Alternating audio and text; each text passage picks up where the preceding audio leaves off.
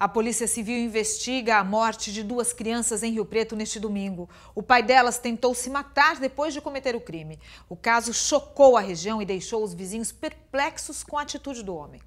Hugo Imaizumi, de 41 anos, continua internado no Hospital de Base de Rio Preto e o estado dele é grave.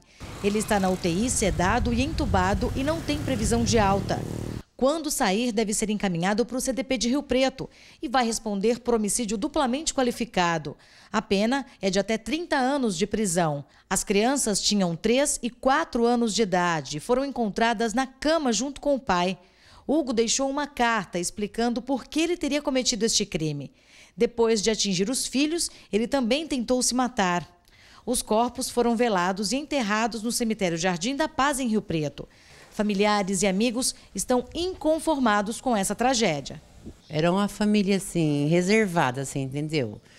Era bom dia, boa tarde, mas eu nunca ouvi uma discussão, nunca ouvi nada, nada, nem as crianças chorar, nada. Ele era um super pai, um super pai, era uma super mãe, as crianças tinham de tudo.